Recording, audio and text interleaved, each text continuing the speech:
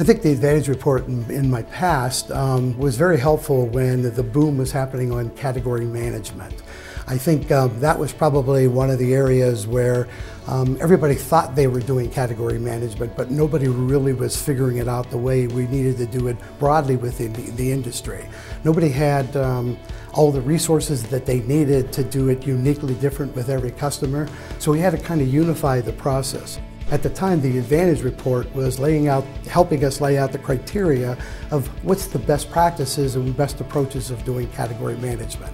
I think as an industry, we've evolved very um, um, significant and in the area of category management, almost to the point now where the next evolution is category leadership.